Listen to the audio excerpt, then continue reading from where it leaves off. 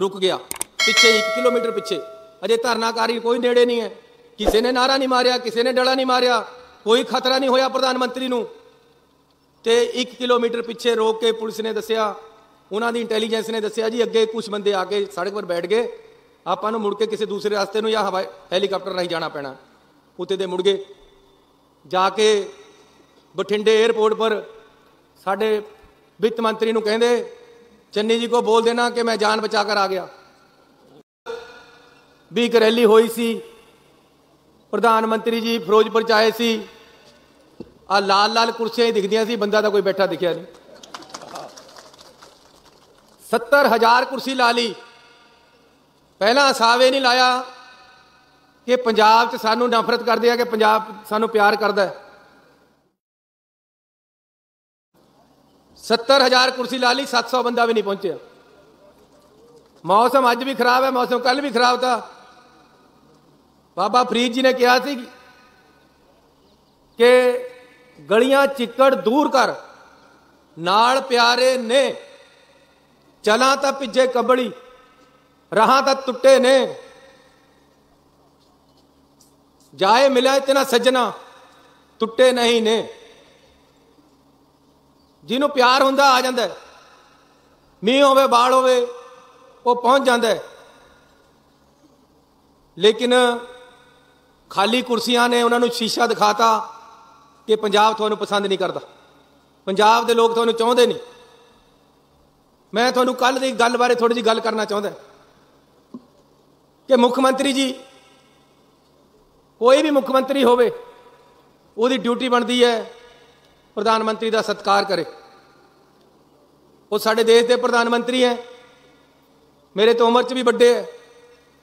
ਇਸ ਕਰਕੇ ਮੈਂ ਪ੍ਰਧਾਨ ਮੰਤਰੀ ਦਾ ਦਿਲੋਂ ਸਤਿਕਾਰ ਕਰਦਾ ਸਾਡੇ ਫਾਈਨਾਂਸ ਮਿਨਿਸਟਰ ਉਹਨਾਂ ਨੂੰ ਸਤਿਕਾਰ ਦੇਣ ਵਾਸਤੇ, ਜੀਆਂ ਕਹਿਣ ਵਾਸਤੇ ਬਠਿੰਡੇ ਗਏ। ਸਾਡੇ ਡਿਪਟੀ ਮੁੱਖ ਮੰਤਰੀ ਉਹਨਾਂ ਨੂੰ ਸਤਿਕਾਰ ਦੇਣ ਵਾਸਤੇ ਫਿਰੋਜ਼ਪੁਰ ਪਹੁੰਚੇ। ਉਹਨਾਂ ਦਾ ਪ੍ਰੋਗਰਾਮ ਆਇਆ। ਇੱਕ ਪ੍ਰਧਾਨ ਮੰਤਰੀ ਦੀ ਟੀਮ ਹੁੰਦੀ ਹੈ ਐਸਪੀਜੀ ਕਹਿੰਦੇ ਉਹਨੂੰ। ਉਹਨਾਂ ਨੇ ਸਾਰੀ ਸਿਕਿਉਰਿਟੀ ਦੇਖਣੀ ਹੁੰਦੀ ਪ੍ਰਧਾਨ ਮੰਤਰੀ ਦੀ। ਉਹ 5 ਦਿਨ ਪਹਿਲਾਂ ਫਿਰੋਜ਼ਪੁਰ ਪਹੁੰਚ ਗਏ। ਸਾਰਾ ਕੰਟਰੋਲ ਉਹਨਾਂ ਨੇ ਆਪਣੇ 'ਚ ਕਰ ਲਿਆ। 10000 ਬੰਦਾ ਉੱਥੇ ਲੱਗਿਆ ਪੁਲਿਸ ਦਾ। ਕੰਟਰੋਲ ਸਾਰਾ ਪ੍ਰਧਾਨ ਮੰਤਰੀ ਦੇ ਦਫ਼ਤਰ ਦੇ ਕੋਲ ਕਰਤਾ। ਰਾਤ ਨੂੰ ਮੈਨੂੰ ਅਮਿਤ ਸ਼ਾਹ ਸ਼ਾਹ ਜੀ ਦਾ ਟੈਲੀਫੋਨ ਆਇਆ ਕਿ ਕੱਲ ਨੂੰ ਰੈਲੀ ਹੈ, ਸੜਕਾਂ ਤੇ ਕਿਸਾਨ ਬੈਠ ਗਏ ਆ ਕੇ। ਤੁਸੀਂ ਉਹਨਾਂ ਨੂੰ ਉਠਾਓ। ਸ਼ਾਮ ਜੇ ਨੂੰ ਆਇਆ। ਮੈਂ ਪੁਲਿਸ ਭੇਜੀ ਆ। ਸਾਰੇ ਅਫਸਰ ਭੇਜੇ। ਰਾਤ ਨੂੰ ਮੈਨੂੰ ਅਫਸਰ ਦਾ ਟੈਲੀਫੋਨ ਆਇਆ ਕਿ ਜੀ ਕਿਸਾਨ ਉੱਠਣ ਨੂੰ ਤਿਆਰ ਨਹੀਂ, ਜਿਹੜੇ ਐਜੀਟੇਸ਼ਨ ਕਰਦੇ ਆ, ਸਾਨੂੰ ਸਖਤੀ ਕਰਨੀ ਪੈਣੀ। ਮੈਂ ਕਿਹਾ, ਕੋਈ ਡੰਡਾ ਨਹੀਂ ਚਲਾਣਾ ਕੋਈ ਗੋਲੀ ਨਹੀਂ ਚਲਾਣੀ ਪਿਆਰ ਦੇ ਨਾਲ ਸਮਝਾਓ। ਉਹਨਾਂ ਤੋਂ ਪੁੱਛੋ, ਕਿਆ ਚਾਹੁੰਦੇ ਆ? ਕਿਸੇ ਤਰ੍ਹਾਂ ਮਸਲੇ ਨੂੰ ਹੱਲ ਕਰੋ। 2 ਘੰਟੇ ਬਾਅਦ ਟੈਲੀਫੋਨ ਆਇਆ ਕਿ ਜੀ ਉਹ ਚਾਹੁੰਦੇ ਆ ਕਿ ਪ੍ਰਧਾਨ ਮੰਤਰੀ ਸਾਨੂੰ ਬੁਲਾ ਕੇ ਸੁਣੇ, ਸਾਡੀਆਂ ਡਿਮਾਂਡਾਂ ਪਰ ਗੌਰ ਕਰੇ। ਮੈਂ ਆਪਣੇ ਦਫ਼ਤਰ ਵੱਲੋਂ ਲਿਖ ਕੇ ਦੇਤਾ ਕਿ ਜੀ ਪ੍ਰਧਾਨ ਮੰਤਰੀ ਤੁਹਾਨੂੰ ਮਿਲਣਗੇ, ਉਹਨਾਂ ਨਾਲ ਗੱਲ ਕਰ ਲਈ। ਉੱਪਰ ਉਹਨਾਂ ਦੇ ਦਫ਼ਤਰ ਨਾਲ ਅਸੀਂ ਗੱਲ ਕਰ ਲਈ। ਮਾਮਲਾ ਨਿਬੜ ਗਿਆ। ਰਾਤ ਨੂੰ ਸੜਕ ਖਾਲੀ ਹੋ ਗਈ। ਬੀਜੇਪੀ ਦੇ ਅਫਸਰ ਨੇਤਾ ਸ਼ਿਖਾਵਤ ਜੀ ਵੀ ਆਏ ਹੋਏ ਸੀ। ਉਹਨਾਂ ਨੇ ਵੀ ਉਹਨਾਂ ਨਾਲ ਗੱਲ ਕਰੀ ਕਿਸਾਨਾਂ ਨੇ ਸੜਕਾਂ ਖਾਲੀ ਕਰਤੀਆਂ। ਦੂਸਰੇ ਦਿਨ ਪ੍ਰਧਾਨ ਮੰਤਰੀ ਜੀ ਪਹੁੰਚੇ। ਬਠਿੰਡੇ ਉਤਰੇ, ਉਹਨਾਂ ਨੇ ਉੱਥੇ ਦੇ ਜਹਾਜ਼ ਦੇ ਵਿੱਚ ਫਿਰੋਜ਼ਪੁਰ ਜਾਣਾ ਸੀ। ਪਹਿਲਾਂ ਤੇ ਲਿਖਤੀ ਪ੍ਰੋਗਰਾਮ ਆਇਆ ਹੋਇਆ ਕਿ ਜੀ ਬਠਿੰਡੇ ਤੱਕ ਜਹਾਜ਼ ਪਰ ਆਉਂਗੇ, ਅੱਗੇ ਹੈਲੀਕਾਪਟਰ ਪਰ ਜਾਓਗੇ ਤਿੰਨ ਵਾਰ ਹੈਲੀਕਾਪਟਰ ਪਹਿਲਾਂ ਚਲਾ ਕੇ ਦੇਖਿਆ, ਦੋ ਦਿਨ ਪਹਿਲਾਂ ਕਿ ਇੱਥੇ ਦੇ ਉੱਤੇ ਉਤਰਨਾ ਹੈ। ਤਿੰਨ ਹੈਲੀਪੈਡ ਬਣੇ ਫਿਰੋਜ਼ਪੁਰ ਦੇ ਵਿੱਚ ਤਾਂ ਕਿ ਪਤਾ ਨਾ ਲੱਗੇ ਕਿਹੜੇ ਪਰ ਉਤਰੂਗੇ। ਇਹ ਸਾਰੀਆਂ ਤਿਆਰੀਆਂ ਦਿੱਲੀ ਦੀ ਸਰਕਾਰ ਨੇ ਕਰੀਆਂ, ਕੇਂਦਰ ਸਰਕਾਰ ਨੇ। ਉਹਨਾਂ ਦੀ ਸਿਕਿਉਰਿਟੀ ਲੱਗੀ। ਸਾਡੀ ਪੁਲਿਸ ਉਹਨਾਂ ਦੇ ਅੰਡਰ ਹੋ ਗਈ। ਤੇ ਜਦੋਂ ਬਠਿੰਡੇ ਪਹੁੰਚੇ, ਤਾਂ ਉਹਨਾਂ ਨੂੰ ਇਹ ਵੀ ਪਿੰਡਕ ਪੈ ਗਈ ਕਿ ਜਿੱਥੇ ਪਹੁੰਚਣਾ, ਉੱਥੇ ਤਾਂ ਲਾਲ ਲਾਲ ਕੁਰਸੀਆਂ ਹੀ ਦਿਖਦੀਆਂ ਬੰਦਾ ਤਾਂ ਕੋਈ ਦਿਖਦਾ ਨਹੀਂ।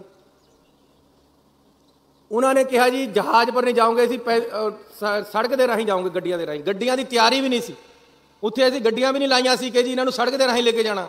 ਸੜਕ ਪਰ ਲਿਜਾਣ ਨੂੰ ਕੋਈ ਤਿਆਰੀ ਨਹੀਂ ਸੀ। ਲੇਕਿਨ ਸੜਕ ਦੇ ਰਾਹ ਤੁਰ ਪਏ। ਅੱਗੇ ਜਾ ਕੇ ਪਤਾ ਲੱਗਿਆ ਵੀ ਕਿਲੋਮੀਟਰ ਅੱਗੇ ਪਿੰਡ ਚੋਂ ਨਿਕਲ ਕੇ ਕੁਝ ਬੰਦੇ ਬਾਹਰ ਆ ਕੇ ਬੈਠ ਗਏ ਧਰਨੇ ਪਰ। ਉਹਨਾਂ ਨੂੰ ਤਾਂ ਕੋਈ ਪਤਾ ਨਹੀਂ ਸੀ ਵੀ ਇੱਥੇ ਨੂੰ ਪ੍ਰਧਾਨ ਮੰਤਰੀ ਆ ਰਹੇ। ਲੇਕਿਨ ਪ੍ਰਧਾਨ ਮੰਤਰੀ ਦਾ ਕਾਫਲਾ ਰੋਕ ਲਿਆ, ਰੁਕ ਗਿਆ। ਪਿੱਛੇ 1 ਕਿਲੋਮੀਟਰ ਪਿੱਛੇ। ਅਜੇ ਧਰਨਾਕਾਰੀ ਕੋਈ ਨੇੜੇ ਨਹੀਂ ਹੈ। ਕਿਸੇ ਨੇ ਨਾਰਾ ਨਹੀਂ ਮਾਰਿਆ, ਕਿਸੇ ਨੇ ਡਲਾ ਨਹੀਂ ਮਾਰਿਆ। ਕੋਈ ਖਤਰਾ ਨਹੀਂ ਹੋਇਆ ਪ੍ਰਧਾਨ ਮੰਤਰੀ ਨੂੰ। ਤੇ 1 ਕਿਲੋਮੀਟਰ ਪਿੱਛੇ ਰੋਕ ਕੇ ਪੁਲਿਸ ਨੇ ਦੱਸਿਆ, ਉਹਨਾਂ ਦੀ ਇੰਟੈਲੀਜੈਂਸ ਨੇ ਦੱਸਿਆ ਜੀ, ਅੱਗੇ ਕੁਝ ਬੰਦੇ ਆ ਕੇ ਸੜਕ 'ਪਰ ਬੈਠ ਗਏ। ਆਪਾਂ ਨੂੰ ਮੁੜ ਕੇ ਕਿਸੇ ਦੂਸਰੇ ਰਸਤੇ ਨੂੰ ਜਾਂ ਹਵਾਈ ਹੈਲੀਕਾਪਟਰ ਰਾਹੀਂ ਜਾਣਾ ਪੈਣਾ। ਉੱਥੇ ਦੇ ਮੁੜ ਗਏ।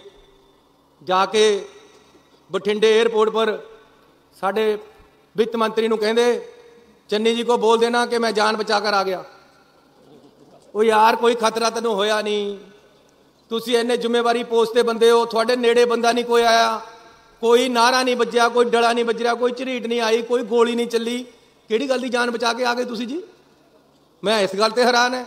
ਸਾਰੇ ਹਿੰਦੁਸਤਾਨ ਦੇ ਵਿੱਚ ਬੀਜੇਪੀ ਵਾਲਿਆਂ ਨੇ ਇੱਕ ਗੱਲ ਬਣਾਤੀ ਕਿ ਪ੍ਰਧਾਨ ਮੰਤਰੀ ਦੀ ਜਾਨ ਕੋ ਖਤਰਾ ਹੋ ਗਿਆ। ਕੋਈ ਖਤਰਾ ਨਹੀਂ ਸੀ। ਕਿਸੇ ਤਰ੍ਹਾਂ ਦੀ ਕੋਈ ਗੱਲ ਇਹੋ ਜੀ ਨਹੀਂ ਹੋਈ। ਆ ਹੁਣ ਮੈਂ ਆਉਂਦਾ ਰੈਲੀਆਂ ਪਰ। ਕਈ ਕਰਮਚਾਰੀ ਬੈਠ ਜਾਂਦੇ ਮੇਰੇ ਰਸਤੇ 'ਚ। ਮੈਂ ਪਿੱਛੇ ਮੁੜ ਕੇ ਦੂਸਰਾ ਰਸਤਾ ਲੈ ਲੈਣਾ ਵੀ ਯਾਰ ਇਹਨੂੰ ਪਿਆਰ ਨਾਲ ਸਮਝਾ ਕੇ ਪਾਸੇ ਕਰ ਦੋ। ਹੁਣ ਮੈਂ ਆਪਣੇ ਬੰਦਿਆਂ ਪਰ ਡੰਡੇ ਚਲਾਵਾਂ, ਗੋਲੀਆਂ ਚਲਾਵਾਂ। ਫਿਰ ਮੇਰੇ ਯਾਰ ਬਾਦਲਾਂ 'ਚ ਕੀ ਫ਼ਰਕ ਰਹਿ ਗਿਆ? ਫਿਰ ਉਹੋ ਜਿਹਾ ਬਰਗਾੜੀ ਇੱਕ ਰਾਤ ਹੋਰ ਬਣ ਜਾਂਦਾ ਪਰਸੋਂ ਨੂੰ। ਉਈਆਂ ਜਿਹੀਆਂ ਗੋਲੀਆਂ ਹੋਰ ਚੱਲ ਜਾਂਦੀਆਂ। ਉਹੇ ਜਿਹੇ ਬੰਦੇ ਹੋਰ ਮਰ ਜਾਂਦੇ। ਲੇਕਿਨ ਮੈਂ ਜ਼ਿੰਮੇਵਾਰੀ ਨਾਲ ਕੰਮ ਕਰਦਾ ਹਾਂ। ਜਿਹੜਾ ਕੰਮ ਪਿਆਰ ਨਾਲ ਹੋ ਸਕਦਾ, ਡੰਡੇ ਨਾਲ ਕਿਉਂ ਕਰਨਾ ਹੈ? ਲੇਕਿਨ ਇਹ ਜਿਹੜੀ ਗੱਲ ਬਣਾਈ ਗਈ ਹੈ, ਪ੍ਰਧਾਨ ਮੰਤਰੀ ਜੀ, ਮੈਂ ਤੁਹਾਨੂੰ ਬੇਨਤੀ ਕਰਨਾ ਚਾਹੁੰਦਾ ਹਾਂ ਕਿ ਪੰਜਾਬ ਦੇ ਲੋਕ, ਉਹ ਲੋਕ ਹੈ ਜਿਹੜੇ ਦੇਸ਼ ਵਾਸਤੇ ਕੁਰਬਾਨ ਹੁੰਦੇ ਆਏ ਆ ਜਿਨ੍ਹਾਂ ਨੇ ਆਜ਼ਾਦੀ ਵਾਸਤੇ ਕੁਰਬਾਨੀ ਕੀਤੀ, ਭਗਤ ਸਿੰਘ ਵਰਗੀਆਂ ਕੁਰਬਾਨੀਆਂ ਅਸੀਂ ਦਿੱਤੀਆਂ। ਆਜ਼ਾਦੀ ਤੋਂ ਬਾਅਦ ਬਟਵਾਰੇ ਦਾ ਸੰਤਾਪ ਵੀ ਭੋਗਿਆ 65 ਦੀ ਲੜਾਈ ਵੀ ਲੜੀ।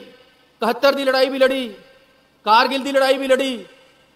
ਥੋੜੇ ਦਿਨਾਂ ਬਾਅਦ, ਥੋੜੇ ਮਹੀਨਿਆਂ ਬਾਅਦ ਸਾਡਾ ਕੋਈ ਨਾ ਕੋਈ ਸ਼ਹੀਦ ਹੋ ਕੇ ਆ ਜਾਂਦਾ ਹੈ ਪੰਜਾਬੀ ਬਾਰਡਰ ਤੋਂ। ਐਸੀ ਅੱਜ ਵੀ ਲੜਾਈ ਲੜ ਰਹੇ। ਸਾਨੂੰ ਪਤਾ ਦੇਸ਼ ਦੀ ਪ੍ਰਸਤੀ ਦਾ। ਐਸੀ ਜਾਨਾ ਬਾਰਨ ਵਾਲੇ ਐ ਇਸ ਤਰ੍ਹਾਂ ਜਾਨਾਂ ਲੈਣ ਵਾਲੇ ਨਹੀਂ ਐ ਸਾਡੇ ਪੰਜਾਬ 'ਚ ਤੁਸੀਂ ਜਨ ਮਰਜ਼ੀ ਆਓ, ਤੁਹਾਨੂੰ ਕੋਈ ਖਤਰਾ ਨਹੀਂ ਹੈ। ਹਾਂ, ਰੋਸ ਹੋ ਸਕਦਾ ਸਾਡੇ ਮਨਾਂ 'ਚ। ਐਸੀ ਰੋਸ ਪ੍ਰਗਟ ਕਰ ਸਕਦੇ ਸੜਕ ਤੇ ਬੈਠ ਕੇ। ਸਾਨੂੰ ਸਮਝਾਇਆ ਜਾ ਸਕਦਾ ਹੈ। ਸਾਡੇ ਰੋਸ ਨੂੰ ਖਤਮ ਕੀਤਾ ਜਾ ਸਕਦਾ ਹੈ। ਜੇ ਕਿਸਾਨਾਂ ਤੇ ਤੁਸੀਂ ਪਰਚੇ ਕੀਤੇ, ਉਹ ਵਾਪਸ ਲਏ ਜਾ ਸਕਦੇ ਆ ਜੇ ਕਿਸਾਨਾਂ ਦੇ ਮਸਲੇ ਨਹੀਂ ਹੱਲ ਹੋਏ, ਜਿਹੜੇ ਉਹ ਕਰੇ ਜਾ ਸਕਦੇ ਆ ਸਾਨੂੰ ਪਿਆਰ ਨਾਲ ਜਿੱਤਣ ਦੀ ਲੋੜ ਹੈ। ਸਾਡੇ ਤੇ ਛੜਯੰਤਰ ਨਾ ਕਰੋ। ਸਾਨੂੰ ਰਾਜਨੀਤੀ ਦੀਆਂ ਚਾਲਾਂ ਵਿੱਚ ਨਾ ਲੈ ਕੇ ਆਓ। ਇਸ ਲਈ ਮੈਂ ਸਾਰੇ ਲੋਕਾਂ ਨੂੰ ਪੰਜਾਬ ਦੇ ਨੂੰ ਇਹ ਕਲੀਅਰ ਕਰ ਦੇਣਾ ਚਾਹੁੰਦਾ ਕਿ ਪ੍ਰਧਾਨ ਮੰਤਰੀ ਜੀ ਆਏ ਸੀ। ਉਹਨਾਂ ਦੀ ਕੋਈ ਜਾਨ ਮਾਲ ਨੂੰ ਖਤਰਾ ਪੰਜਾਬ 'ਚ ਨਹੀਂ ਹੋਇਆ। ਹਰ ਤਰ੍ਹਾਂ ਹਿਫਾਜ਼ਤ ਹੋਈ ਹੈ। ਉਹਨਾਂ ਦੀ ਆਪਣੀ ਸਿਕਿਉਰਿਟੀ ਹੈ ਜਿਹੜੀ, ਉਹਨਾਂ ਦੀ ਗਲਤੀ ਹੋ ਸਕਦੀ ਹੈ। ਐਸੀ ਕਿਸੇ ਤਰ੍ਹਾਂ ਦੀ ਕੋਈ ਗਲਤੀ ਨਹੀਂ ਕੀਤੀ ਤੇ ਐਸੀ ਉਹਨਾਂ ਦਾ ਪੂਰਾ ਸਤਿਕਾਰ ਕਰਦੇ ਆ ਲੇਕਿਨ ਜਦ ਤੱਕ ਚਰਨਜੀਤ ਚੰਨੀ ਮੁੱਖ ਮੰਤਰੀ ਹੈ, ਸਾਡੀ ਇਹ ਸਰਕਾਰ ਹੈ, ਅਸੀਂ ਆਪਣੇ ਲੋਕਾਂ ਤੇ ਨਾ ਗੋਲੀਆਂ ਚਲਾਣੀਆਂ ਨਾ ਡਾਂਗਾ ਚਲਾਣੀਆਂ ਅਸੀਂ ਜੋ ਕਰਨਾ ਪਿਆਰ ਦੇ ਨਾਲ ਕਰਨਾ